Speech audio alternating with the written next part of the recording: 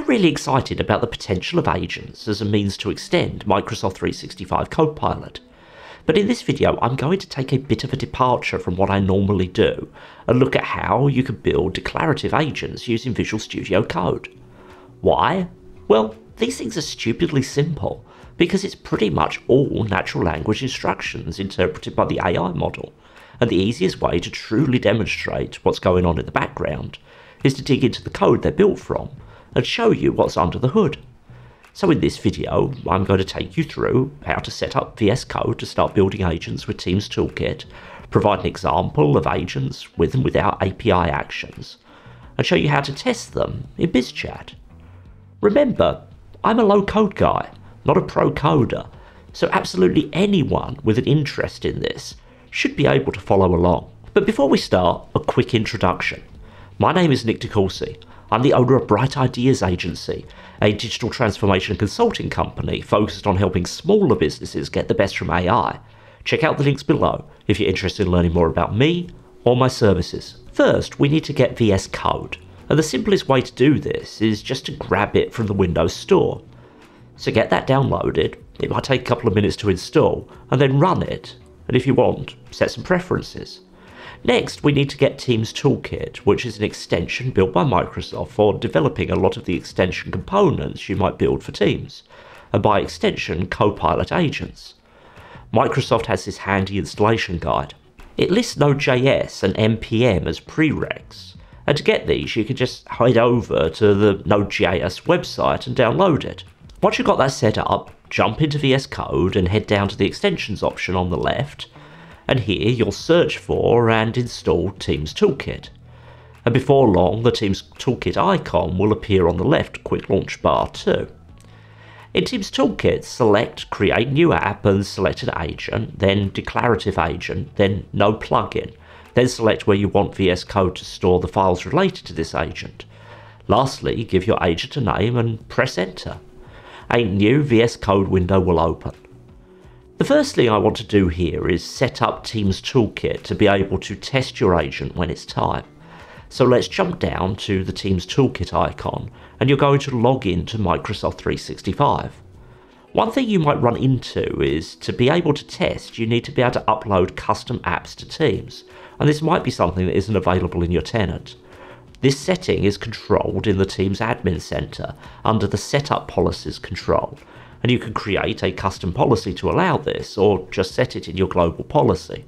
Just be aware though that this ability can create security issues and should be used carefully in production environments. If you're not sure what to do, seek out more information on this setting. So now we've got everything set up, let's take a look at the files related to our agent to understand how it works. Starting with the app manifest file, this defines the app. You have all the stuff here you would normally see when you add an app to Teams or in Microsoft 365. For publishing an app, this is important. For getting started and testing, not so much. Just remember, if you create something great, to get all this filled out so it makes sense, just as you would if you did the same in Copilot Studio. You can also see here that things like the icons and color scheme are defined. Those icon files are right here, so if you want to change them, go ahead. Again, not something necessary for playing with this, but you can see you have all the bones here that you can modify. So that manifest points to the agent, and that's obviously going to be the complex part with all the detailed and confusing AI code in there, right? Well, no. Bare bones, this is an agent, and all you see here are the three core things you'd need to fill out if you started doing this in Agent Builder in BizChat or Copilot Studio. Your agent needs a name, a description, and instructions. There's nothing at all complicated going on here. A declarative agent is, at its basics, just a vehicle to pass a consistent set of instructions to Copilot in a repeatable way. The point of them is that you're using all the infrastructure that Microsoft 365 Copilot already gives you and extending it by defining its purpose and manipulating its scope or capabilities in a way that make it tailored for a particular purpose or process. In the instructions file, you just write natural language instructions, and this can be as simple or complex as you like or need for the purpose you're working through. On Microsoft Learn, there's a whole article devoted to writing better instructions. Or you can start with the instructions from one of Microsoft's pre-built agents and tailor it for your needs. But beyond instructions, there are other capabilities you could give your agent to make it more helpful too. But before we dig into that, if this overview is valuable to you, please do give it a like to help it get in front of more interested people. Also, if you want to see more like this, make sure you subscribe to the channel.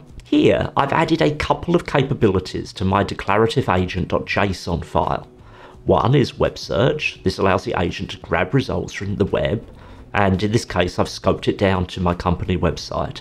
And the other is access to OneDrive and SharePoint, and without any scoping, it just gets the same access as Microsoft 365 Copilot, which is to see anything I have access to in Microsoft 365, but you can scope it down to files or sites, etc. However, if you want to add a more refined scope and other capabilities, there is a Microsoft Learn help file that outlines all of those options. I can also here add starter prompts. These are just as you'd expect and help frame the use of the agent for any user. If you don't add any, a couple of generic starters will display for every agent. Here I have a fairly basic set of instructions. I just want the agent to help with providing business focused summaries and overviews of the topics requested by the user using the knowledge sources. And that's all I need to do to test this. I'll head back to Teams Toolkit, I'll hit the provision option, and once it's done provisioning, I'll choose Preview Your Teams app and choose my browser. In this preview view, I can interact with my agent and test it, and if I want to update it, I'll just make that update in VS Code, save my files, reprovision and refresh. It's as easy as that. But what if I want to build a declarative agent that can act on another service? That's a lot more complex, right? Well, it depends. Assuming your external service can be defined in a standard OpenAPI or Swagger definition file, and it aligns with a few other requirements. For example, there are authentication types that you could use with OpenAPI that don't work with declarative agents. It really is not that much more complex. I've built out an OpenAPI definition file for a demonstrative API I published just for this testing, it doesn't do anything apart from output some information that looks like a web store orders. But once you've got the OpenAPI file you want to work with, you could just go ahead and build your declarative agent. This time I'm going to go through the same process, but instead of selecting no plugin, I'm going to add a plugin from my file. You select what actions you want to add, and then you go ahead and build the agent as you did before. And now you see we have the same outline of our agent with two big differences. In the declarative agent manifest file, I now have reference to an action related to that OpenAPI plugin. And if I jump into the AI plugin.json file, I see that I have my API definition broken down into functions pulled from the OpenAPI definition. Those action descriptions are important for this. And within each function, I have options I can customize, like a basic adaptive card to show how that type of data should show up as a reference in my agent responses. Now, don't get me wrong, you can certainly see there's a level of complexity to understanding what's going on here that you don't get if you're just pulling actions into the wizard based designer you have in Copilot Studio. But to anyone who has worked with custom connectors in Power Platform, this will look pretty familiar, particularly if you've done some stuff that drives adaptive cards into apps like Teams too. Everything that's going on here is using building blocks that are probably familiar to the majority of low-code makers, and you can just manipulate how they are going to be used with natural language. Here you can see I've built out a very simple set of instructions to explain to the agent how to access the API capabilities.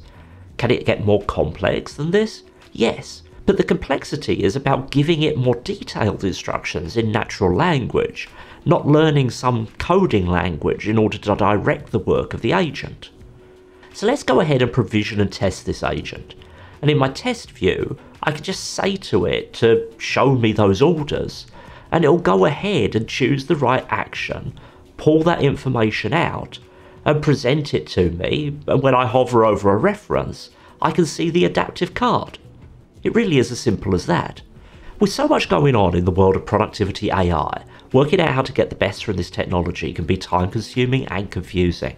I help businesses like yours with their Copilot adoption journey, from advisory help on the selection of the right AI tools to technical advice with their implementation, to leadership and end user training, and support with extended its capabilities across your operations, using things like the declarative agents we're looking at today. Whether you are just thinking about which AI solution to choose, or if you're already in the midst of using Copilot, I'll help you to maximize your return on your investment in AI check out the links down below and get in touch to start working with me. And when you're finished with building an agent, if you want to push something that you make here into day to day production, you can just download the type of zip file that you would usually get for a Teams application and take it through whatever life cycle you have for that type of resource normally. It really is very straightforward. Now, the purpose of this video today isn't to say that everyone should jump from the Agent Builder in BizChat or Copilot Studio into VS Code, although there are certainly things I found beneficial about this approach, but instead to highlight just how powerful yet simple the concept of this new agent wrapper for Copilot extensibility truly is. When you're building a declarative agent, it is truly the quality of your instructions and your ability to iterate through instructions to find the right result that drives the capacity of your agent to deliver what you need. There's nothing else hidden that's going on. You are simply instructing Copilot's underlying technology in exactly the same way you are when you're prompting. You are just doing so in a readily repeatable wrapper that has associated with it a set of capabilities that directly align to whatever it is you're trying to achieve. And while this is powerful, you will run into certain limitations, just as we run into limitations when we're writing prompts.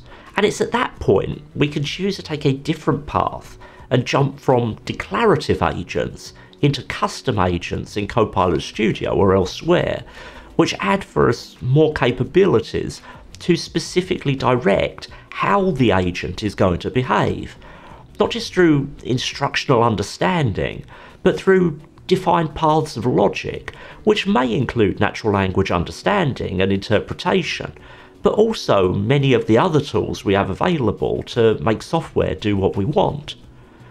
But it is amazing what you can do with instructions plus a large language model and understanding the power of this, not just for chat experiences like ChatGPT or Copilot, but as we embark on new technologies like autonomous agents, is essential for everyone in this space. It might be time to dust off your SOPs and work out whether you can re engineer them as AI instructions, as in this new world, realizing that very expensive system integration project you've been putting off might just be little more complicated than doing that. What do you think? Have you tried building agents, whether in VS Code or elsewhere? And what's your experience of the power of instructions to do things with AI that would have been overly complex or expensive with other solutions? Let me know in the comments. Thanks for watching through to the end. Until the next video, bye bye.